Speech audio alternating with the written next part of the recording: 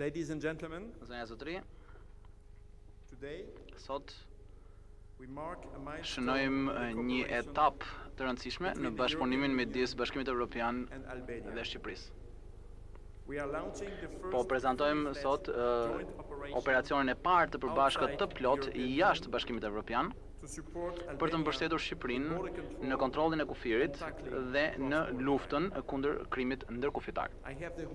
Kam nderin të mirëpres Kryeministrin e Republikës së Shqipërisë, zotin Edi Rama, Ministrin e Punëve të Brendshme, zotin Sandër Lleshaj, dhe Komisionerin Evropian për Migrimin, Çështjet e Brendshme dhe Shtetësinë, Dimitris Avramopoulos.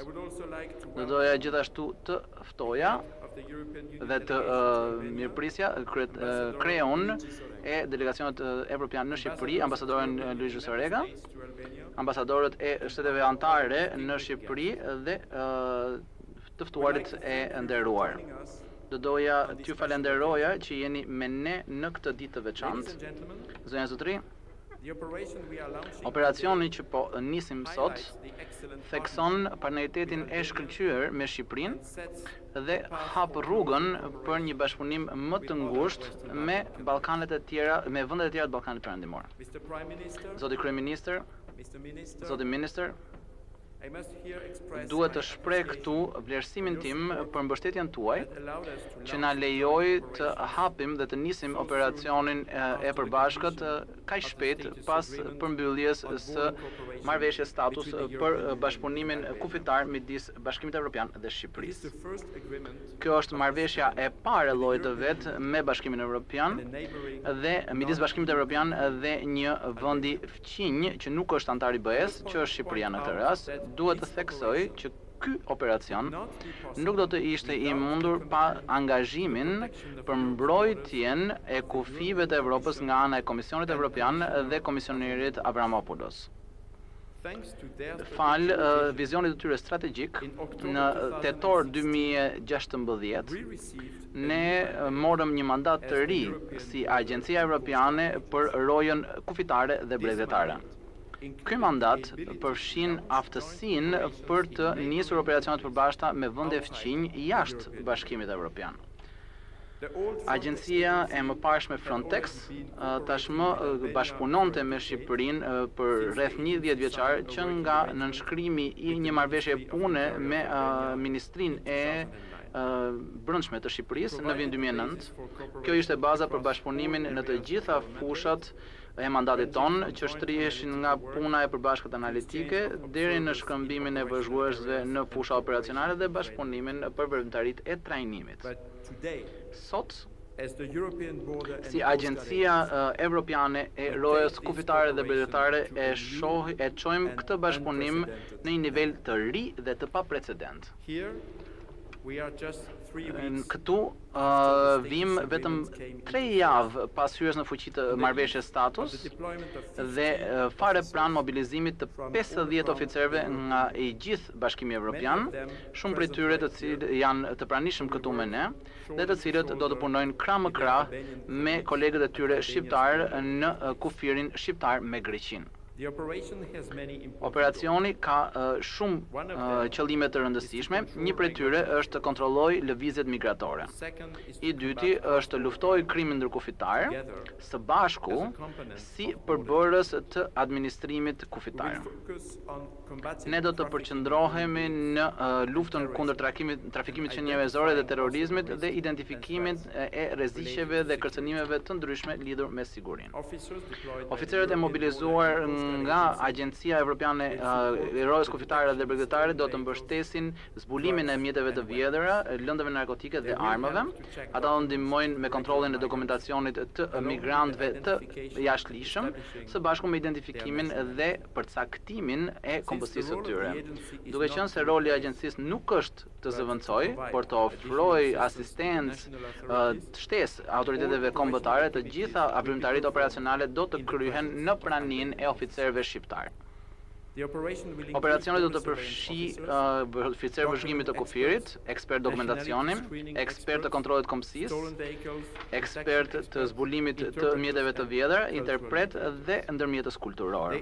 Dhe ata do të kenë gjithashtu mjete patrullimi, një furgon me pamje termike dhe pajisje të tjera vëzhgimi, si dhe pajisje për të zbuluar dokumente të falsifikuara.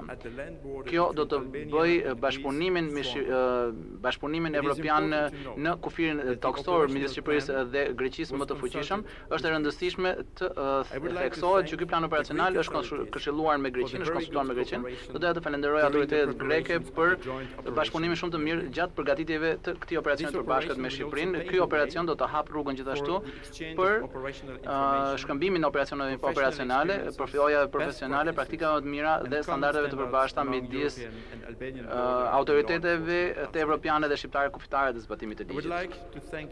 Do doja të falenderoja vendet anëtare që ofruan oficerët dhe stafin e tyre për operacionin në Shqipëri. Personat që do të mobilizohen në kalimet e në kalimet kufitare të Kakavijës dhe Kapshticës vijnë nga Austria, Kroacia, Republika Çeke, Estonia, Finlanda, Franca, Gjermania, Letonia, Holanda, Polonia, Rumania dhe Sllovenia. Do doja gjithashtu të theksoja bashkëpunimin ekzistues midis Italisë dhe Shqipërisë në veprimtaritë policore dhe të zbatimit të ligjit. Në kontekstin e operacioneve tona të reja në Shqipëri, kjo mund të hapë rrugën për sinergji të mëtejshme operacionale midis operacionit tonë të përbashkët Themis në Mesdheun Qendror dhe Adriatik dhe aktivitetet e Agjencisë në Shqipëri dhe në Ballkanin Perëndimor. Dhe përpjekja e përbashkët përtej kufijve me fqinjët tanë jashtë BE-së është një komponent kyç i administrimit të integruar të kufijve. Në veçanti bashkëpunimi me vendet e Ballkanit Perëndimor është një përparësi për ne sepse ky është një rajon kyç tranziti për migrantët dhe ndikohet nga krimi ndërkufitar. Të nderuar të ftuar, zonja e zotëri, sot jam me të vërtet i krenar që të raportoj që Agjencia Evropiane e Rojës Bregdetare, e Rojës Kufitare dhe Bregdetare ka arritur përsëri sukses duke nisur një operacion të përbashkët jashtë Bashkimit Evropian këtu në Shqipëri. Do doja të merrja një moment të ndaj me ju me disa fjalë me oficerët që vijnë nga e gjithë Evropa që do të mobilizohen në kufijtë shqiptarë. Kolegë të nderuar, ju do të jeni rojet e para kufitare evropiane që do të punojnë së bashku me kolegët tuaj shqiptarë në kufijtë e Bashkimit Evropian për ta bërë Evropën akoma më të sigurt.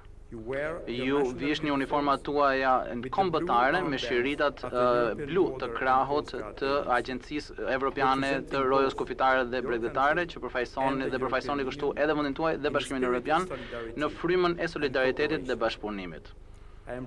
Jam me të vërtetë i krenar për ju dhe kam besim të plotë se ju do të kryeni punën tuaj me krenari. Ju uroj fat! Zoti Kryeministër Rama, Zoti Ministër Lleshaj, Komisioneri Avramopoulos, të gjithë ju edhe të gjithë ju që keni punuar jashtëzakonisht shumë për organizimin e aktivitetit sot, të nderuar të ftuar, ju falënderoj shumë që jeni këtu me ne për të për të na ndihmuar të shënojmë këtë ditë të veçantë. Faleminderit të gjithëve.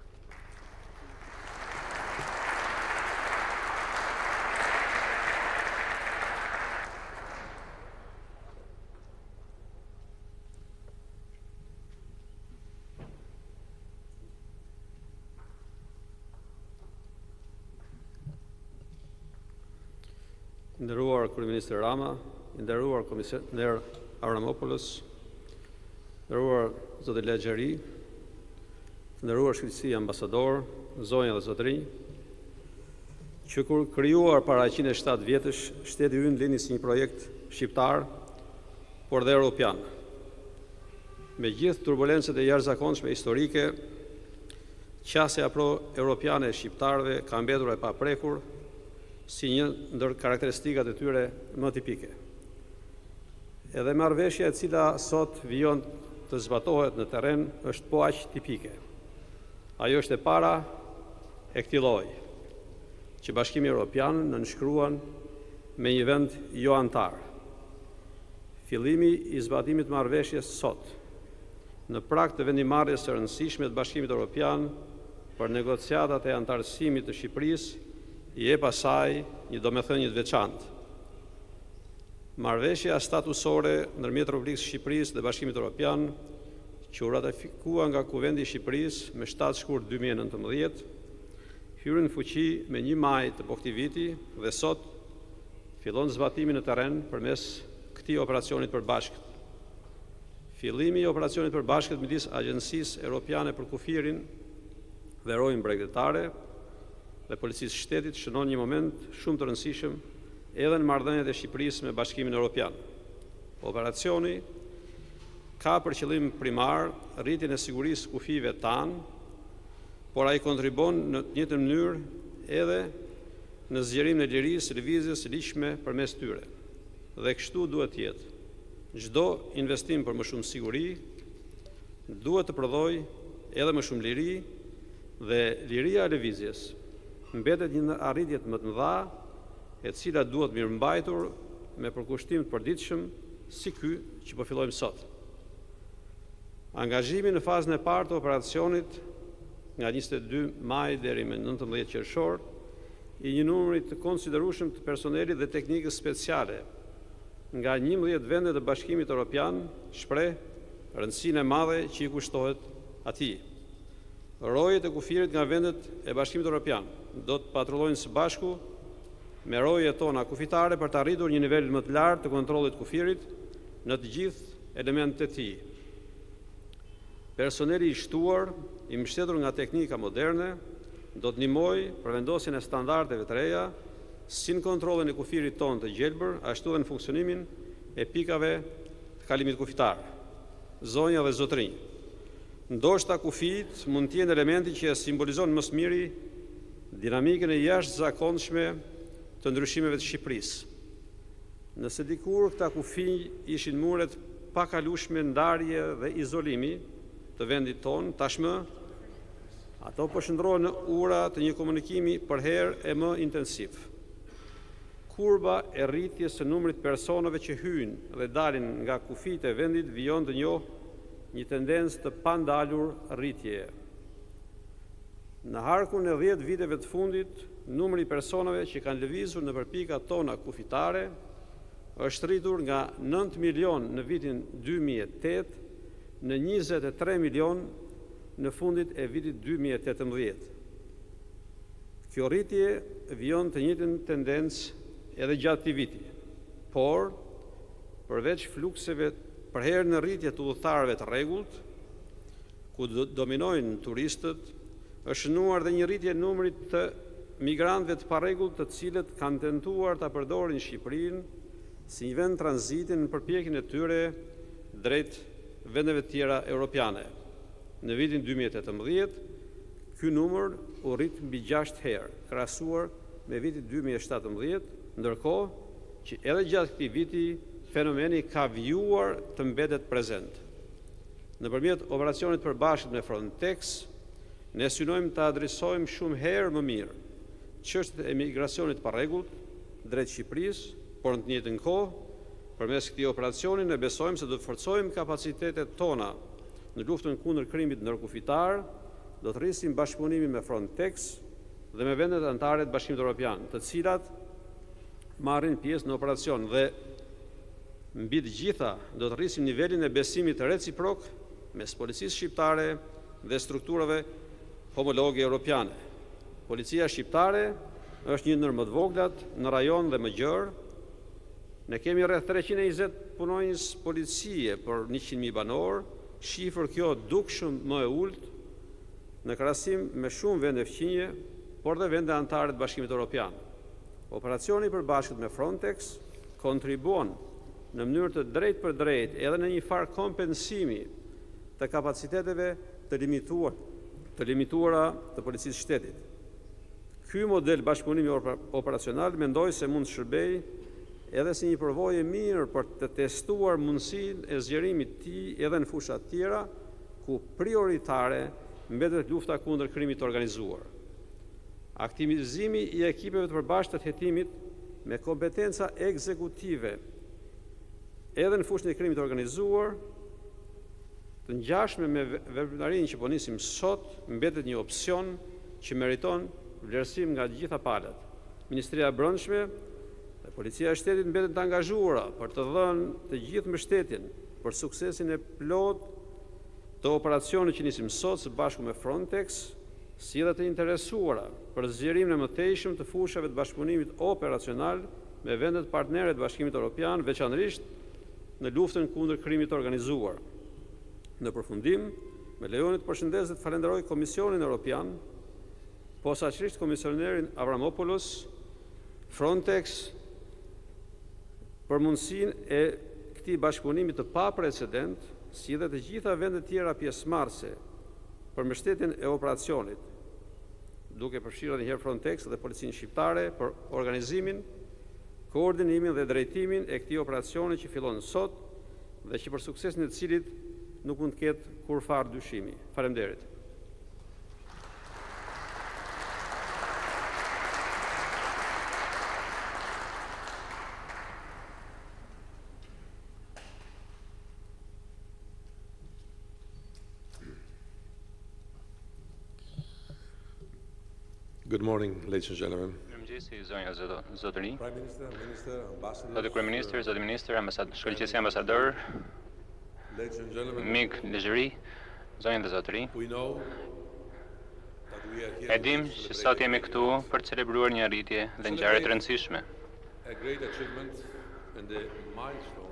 Pra një etapë të re siç tha ministri më parë, si për Shqipërinë dhe për Bashkimin Europian.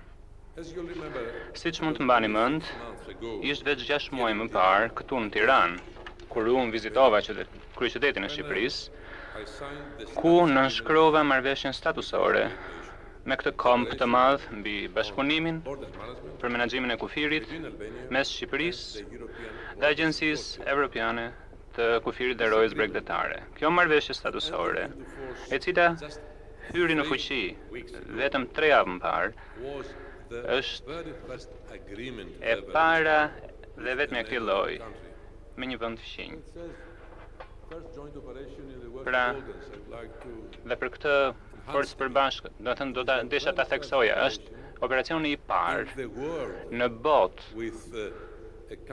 me një vend jo shtet anëtar i BE-së. Pra, zoti kryeministër, sot do të nisim dhe do të prezantojmë skuadrat e përbashkëta të rojës bregdetare dhe kufitare që do të dislokohen prej ditës së nesërme, për herë të parë, siç e thashë, në një vend jo anëtar të BE-së. Kjo jo vetëm shënon një fazë të re të bashkëpunimit kufitar mes BE-së dhe partnerëve të Ballkanit Perëndimor, por gjithashtu është dhe një hap më tej përpara drejt operacionalizimit të Agjencisë. Mënyra e vetme për të adresuar në mënyrë efektive migracionin dhe sfidat e sigurisë që po hasim sot, Dhe ato që mund të përballim në vitet në vijim është që të punojmë ngushtësisht së bashku si fqinj dhe si partnerë. Ajo që ndodh në Shqipëri dhe në vendet e Ballkanit Perëndimor prek Bashkimin Evropian dhe anasjelltas. Qasja e përbashkët e menaxhimit të kufirit është një pjesë kyçe e qasjes së përbashkët të përgjithshme për menaxhimin e migracionit. Kjo na lejon të demonstrojmë para qytetarëve tanë se siguria e tyre është në qendër të vëmendjes tonë. Por partneriteti efektiv për të bërë të sigurt migracion të rregullt na mundëson ne, si Evropë, që të mbetemi ose të qëndrojmë një vend ku ata në nevojë për mbrojtje të gjenë strehë. Shqipëria është vendi i parë në Ballkanin Perëndimor me të cilin Bashkimi Evropian po shkon përpara, Me këtë kapitull të ri, të ri, të rëndësishëm të këtij bashkëpunimi për menaxhimin e kufirit. Ky bashkëpunim është dhe mund të jetë një burim krenarie, si për Shqipërinë ashtu dhe për Bashkimin Evropian, si dhe një hap i rëndësishëm që na bashkon më shumë. Teksa situata e përgjithshme përgjatë rrugëkalimit në Ballkanin Perëndimor mbetet stabël, me nivele vazhdimisht në ulje të ardhjesh, është si të thuash një fakt si nata me ditën krahasuar me tre vjet më parë, por gjithsesi ne duhet të jemi vigjilentë. Marrëveshja statusore do të na ndihmojë në këtë. përpjekje. Kjo zgjeron shkallën e bashkëpunimit praktik dhe operacional mes Bashkimit Europian dhe Shqipërisë dhe me shpresë që shpejt edhe me pjesën tjetër të rajonit të Ballkanit Perëndimor.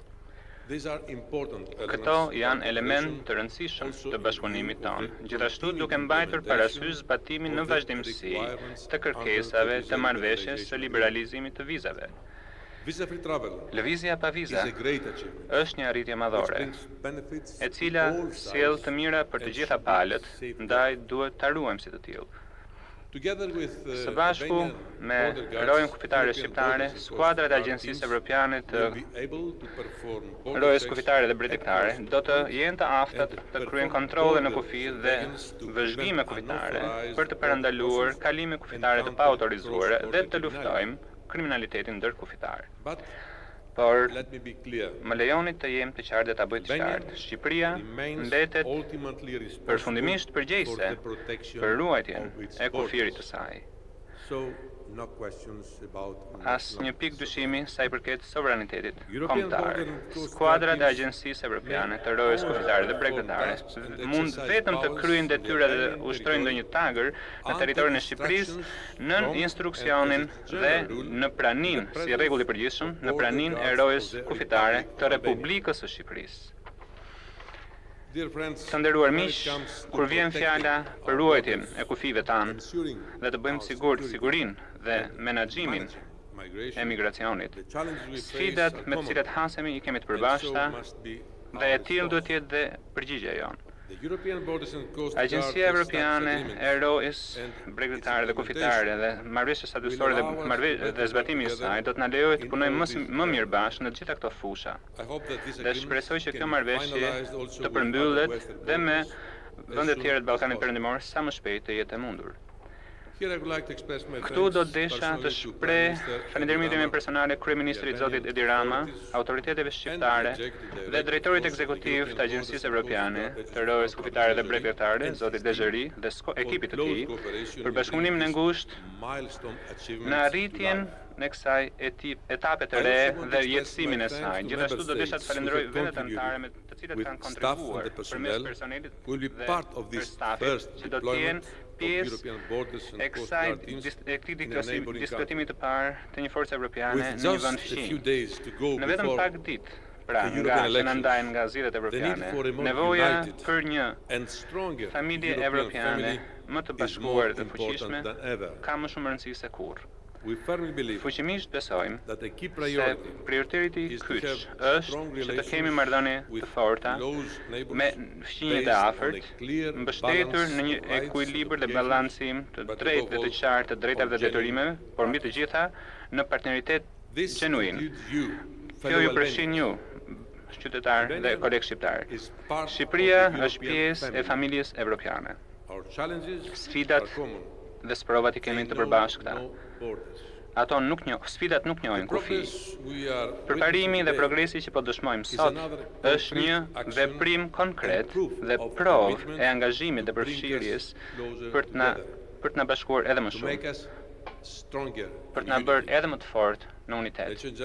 Zonja dhe zotërinj, ju falenderoj shumë për vëmendjen dhe përpara se të nënshkruaj, do të desha të them diçka personale. Personalisht kam lumturinë që kam jam këtu për dy arsye. Së pari shoh rezultatet e ministrave tanë që e prisja të ndodhte që ta shikoja këtë agjenci të bëhej pra një polici kufitare evropiane dhe së dyti sepse gjithmonë kam dashur ta shikoj Shqipërinë të jetë edhe më afër Evropës dhe për këtë gjë zoti kryeministër dhe të nderuar kolegë jemi për të celebruar këtë event, për të parë Shqipërinë pra që të bëhet jo vetëm pjesë e Evropës, por dhe anëtare e familjes evropiane. Ju falënderoj.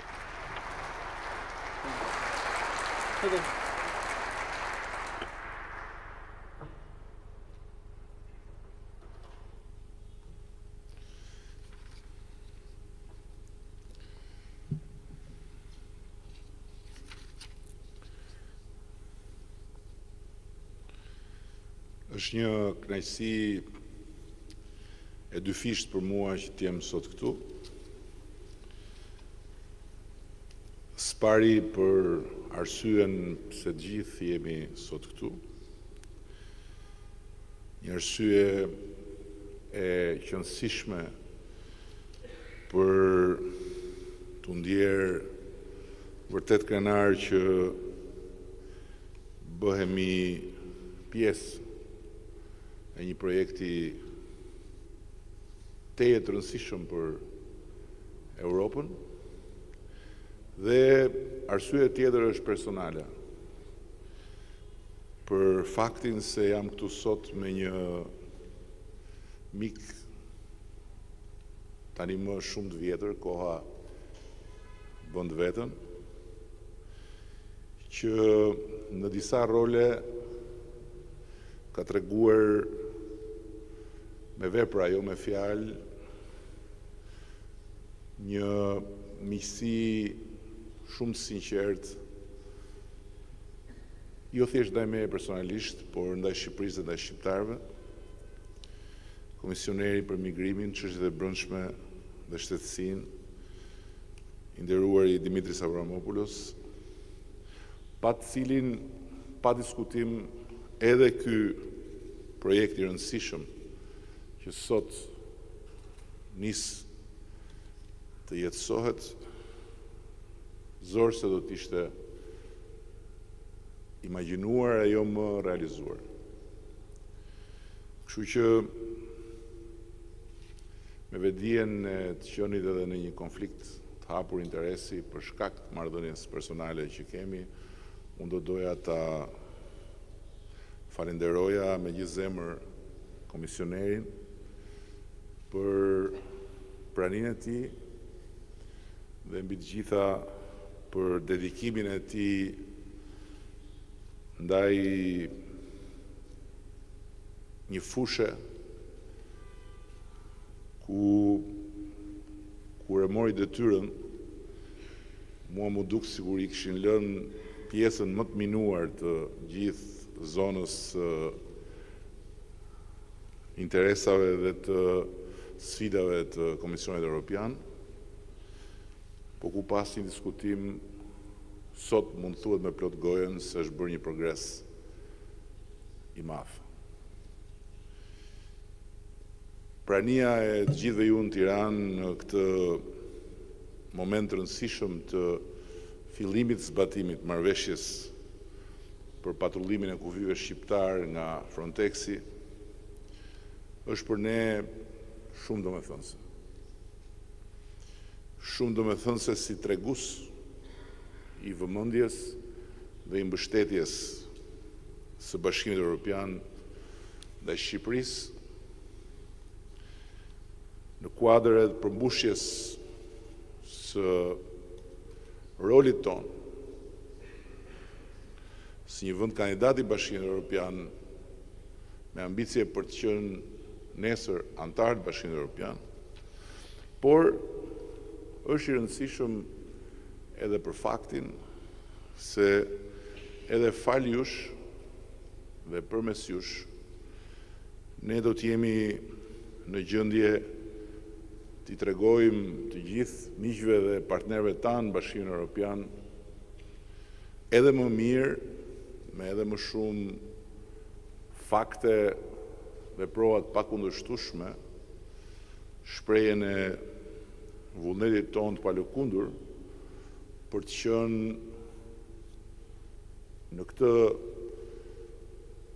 copë të vogël të Europës një partner i besueshëm dhe një vend tërësisht i besueshëm edhe në aspektin e kësaj sfide të madhe europiane dhe më shumë se europiane të përballimit me flukset migratore dhe me emigracionin e paligjshëm.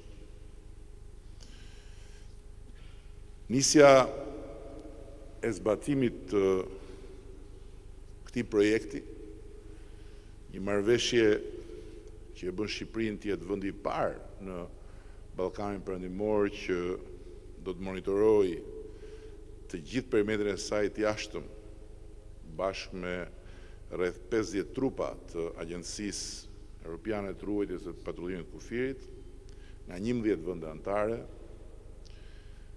përbën po ashtu një arsye për të qenë të vetëdijshëm se sa e rëndësishme është të kemi sukses në këtë projekt edhe në funksion të zgjerimit të mëtejshëm të projektit në vendet e tjera. Ky bashkëpunim i thelluar në mbrojtjen e kufijve europianë, ku me këtë marrëveshje Shqipëria kthehet në një kontributor të drejtpërdrejtë, por edhe në luftën kundër krimit të organizuar, e vendos Shqipërinë në një pozicion më të veçantë sesa deri më sot, qoftë në aspektin e dhënies së kontributit të vet, qoftë edhe në aspektin e përfitimit të drejtpërdrejtë nga pjesëmarrja në këtë projekt. Përfitimet në fakt janë disa. pasi marrëveshja i hap rrugë bashkëpunimit më të afërt për sa i përket shkëmbimit të informacionit, analizës së riskut dhe përballimit të flukseve migratore nga vende të treta. Dhe më lejoni t'ju Them diçka që mbase jo të gjithë këtu në këtë sallë dhe pa diskutim jo të gjithë jashtë kësaj salle e dinë që Shqipëria është përballur me një rritje të flukseve të migracionit gjashtë pikë shtatë herë më shumë në vitin dy mijë e tetëmbëdhjetë krahasuar me vitin dy mijë e shtatëmbëdhjetë dhe njëzet e gjashtë pikë pesë për qind më shumë këtë vit, janar prill, krahasuar me një vit më parë. Ne nuk jemi një vend ku Ata që vijnë shihen si rrezik apo shihen si problem për arsye të traditës tonë dhe nuk jemi një vend ku janë dëgjuar ndonjëherë klithma për shkak të prurjeve nga vende të tjera, Po jemi një vend që jo shumë larg në kohë ka strehuar kryesisht këtu në këtë qytet të madh për Shqipërinë po relativisht të vogël, po dhe në gjithë territorin e vet të vogël, gjysëm milion refugjatë lufte. Pa i kërkuar askujt asgjë. Dhe siç e shikoni, jemi këtu, jemi gjallë, jemi shumë më mirë se ç'ishim në atë kohë, dhe kemi ndërkohë të shënuar në librin e historisë sonë një faqe për të cilën jemi të gjithë krenarë. Ashtu sikundër jemi të gjithë krenarë dhe për një faqe tjetër të shkruar po në historinë tonë të më shumë viteve më parë, kur Shqipëria u bë i vetëmi vënd në Europë, me më shumë ebrej pas luftës së dytë botërore, se sa para luftës. U bë vendi ku gjatë luftës ebrejtë migronin për t'u strehuar në Shqipëri.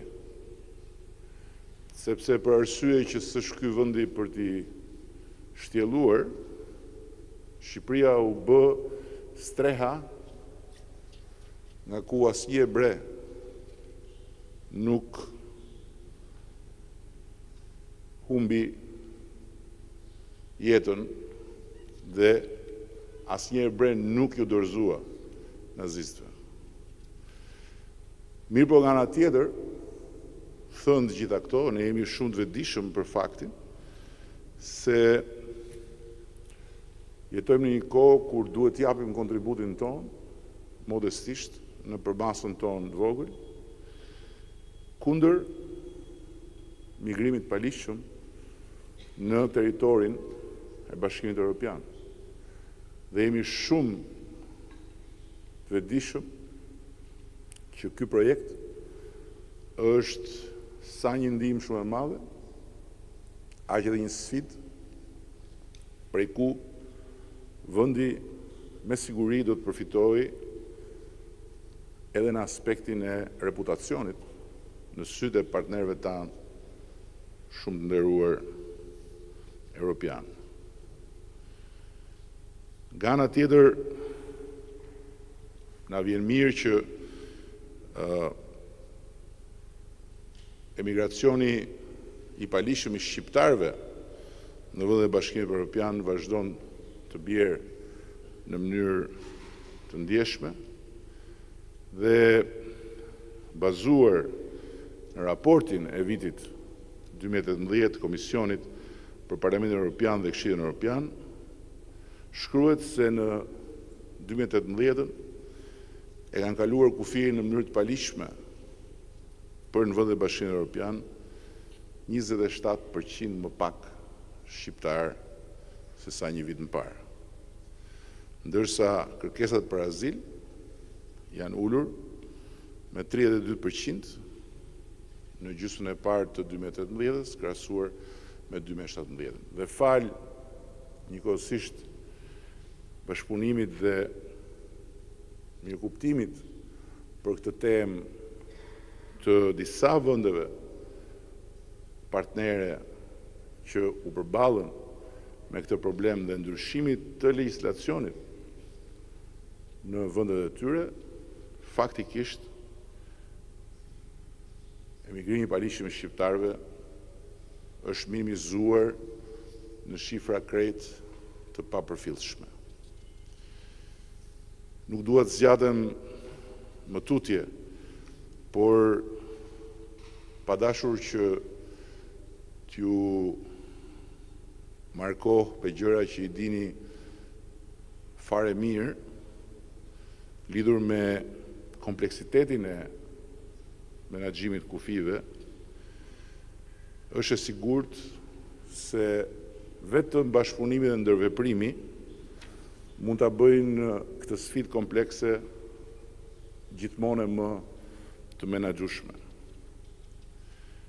Me Kosovën për shembull Shqipëria realizon një menaxhim të integruar të kufijve përmes pikave të përbashkëta të kalimit kufitar dhe faktikisht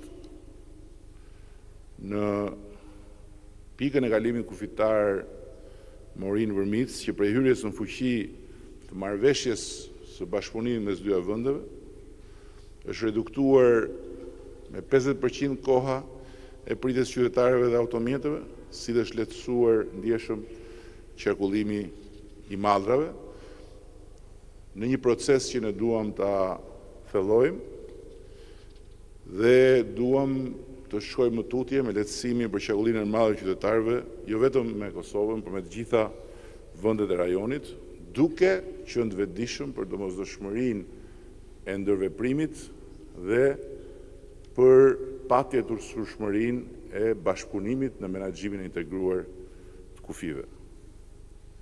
Në mbyllje, gjithë atyre që janë këtu sot të ardhur nga jashtë, dua t'ju them se kanë ardhur në një vend që sipas edhe anketës më të fundit të Komisionit Europian, nëntëdhjetë e tre për qind e njerëzve mbështesin integrimin në Bashkimin Europian. Është një shifër që me siguri nuk mund të gjendet në vendet tuaja për arsye nga më të ndryshmet, por nuk është një arsye Për të buzëqeshur me çudi kur e dëgjoni, sepse ne nuk jemi naivë në këtë dashuri thuajse të verbër për Bashkimin Europian që sot kërcënohet nga verbëria ndaj historisë së Bashkimit Europian. Ne jemi thjesht dhe vetëm pjesë e një territori që luftën nuk e ka parë thjesht në televizor, në arkivat bardhë e zi apo përmes filmave të krijuar më pas për të, por e kemi pasur këtu. Pesëqind mijë shqiptarë nga Kosova këtu i ka sjellë lufta. Ashtu sikundër në gjithë këtë rajon viktima të panumërta ka bërë lufta në kohën kur në Bashkimin Europian lufta konsiderohej thjesht një çështje e zgjidhur e të shkuarës falë Bashkimit Europian. Kështu që me kënaqësinë e madhe që sot keni ardhur në një vend që në nëntëdhjetë e tre për qind të popullsisë së vet është i dashuruar me Europën, edhe me urimin që në Europë ta rigjeni dashurinë për vetveten, unë ju falënderoj shumë.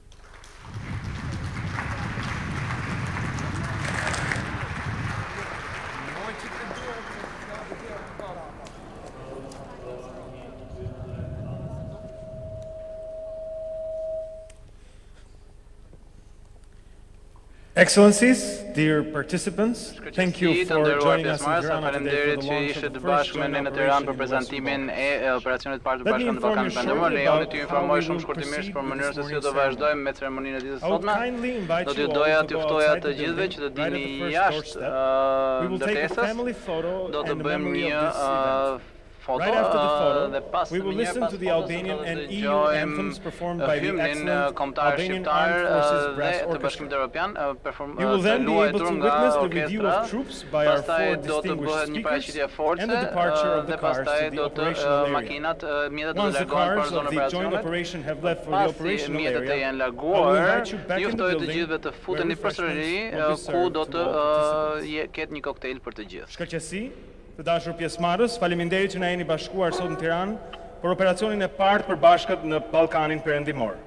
Lejoni t'ju informoj shkurt mbi si do të vijojmë me ceremoninë e sotme. Do t'ju ftoja të gjithëve të dalim jashtë godinës dhe të qëndrojmë përpara hyrjes.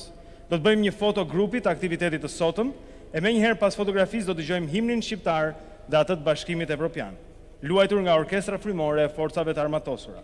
Nga aty, do të mund të dëshmoni shqyrtimin e trupave nga ana e folësve tanë të nderuar dhe largimin e mjeteve drejt zonës operacionale. Pasi mjetet të jenë nisur drejt zonës operacionale, unë do t'ju ftoj brenda godinës ku pije freskuese do të ofrohen për pjesëmarrësit. Faleminderit!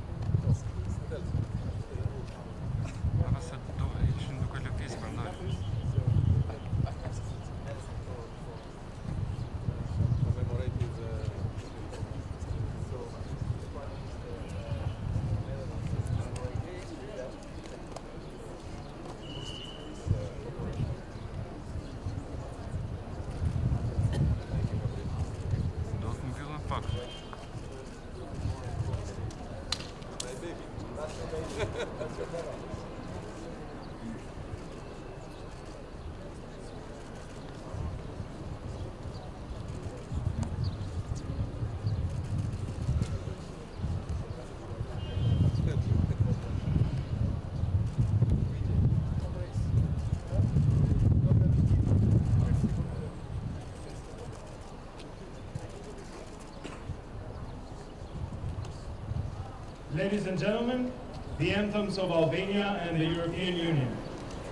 Zonja e zotërinj, himni shqiptar dhe i Bashkimit Evropian.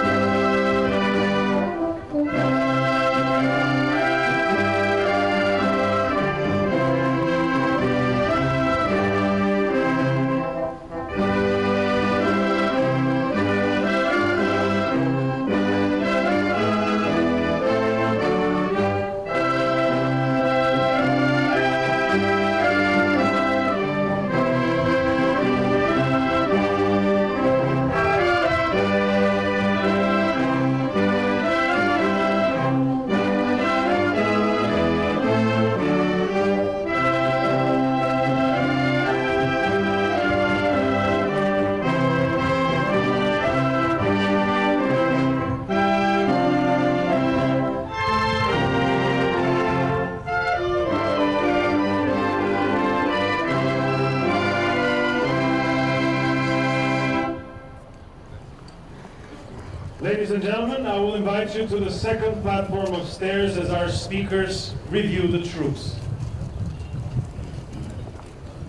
As a team in Shkallën e dytë këtu, ndërsa shikojmë shqyrtimin e trupave.